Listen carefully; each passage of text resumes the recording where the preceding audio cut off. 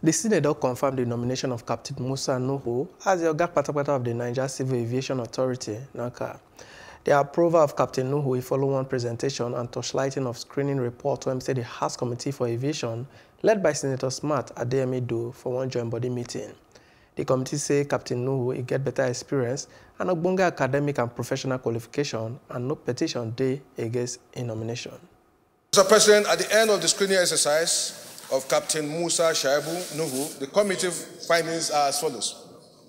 That the nominee has requisite experience, that he possesses relevant academic and professional qualification, and that there was, there was no petition against his nomination. Conclusion.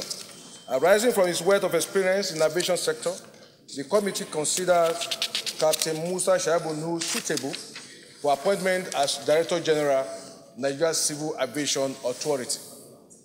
Recommendations. Mr. President of the Senate, distinguished senators, the committee recommends that the Senate do adopt the report of the Senate Committee on Aviation and confirm the nominee, Captain Musa Shaibu Nuhu, as Director General, Nigeria Civil Aviation Authority. Will the Senate confirm the nomination of Captain Musa Shaibu Nuhu for appointment as Director General of the Nigerian Civil Aviation Authority, NCAA? Those in favor say aye. Those against say nay. The ayes have it.